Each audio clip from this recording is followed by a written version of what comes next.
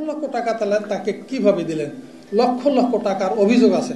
বৃহস্পতিবার প্রধান নির্বাচন কমিশনার খন্দকার মোহাম্মদ নুরুল হুদার এমন বক্তব্যের প্রতিবাদে ভার্চুয়াল সংবাদ সম্মেলন করে সুশাসনের জন্য নাগরিক সুজন। কুরুচিপূর্ণ অশালীন অসত্য বক্তব্য দিয়েছেন।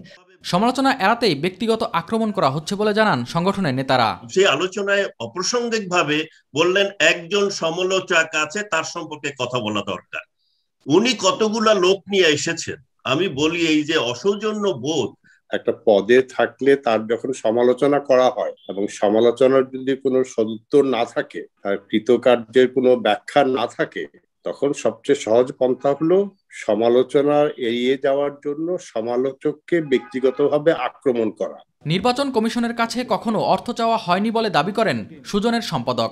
জনাব নুরুল হুদা এবং তার কোনো প্রতিনিধির সাথে সুজন কিংবা আমি নিজে কিংবা আমাদের কোনো প্রতিনিধি কাজ পাওয়ার কোনো কোনো রকম আলাপ আলোচনা হয়নি। আমার জানা মতো এরকম কোনো চিঠিও দেওয়া হয়নি। যদি চিঠি দিয়ে দেওয়া হয়ে থাকে তাহলে তারা প্রকাশ করলেন না কেন? এ সময় কমিশনের নির্বাচন ব্যবস্থা নিয়েও প্রশ্ন তুলেন তিনি। তারা দিনকে রাত করা ছাড়া রাতকে দিন করা ছাড়া যে সুষ্ঠু নিরপেক্ষ নির্বাচনের খাতে যা ইচ্ছা তা করতে পারে তারা তা করেননি। বহু অভিযোগ উঠেছে। এর আগে চিকিৎসা ব্যয় নিয়ে সিএসির বক্তব্য প্রতিহিংসামূলক বলে বিবৃতিতে জানান নির্বাচন commissioner Mahbub Talukdar.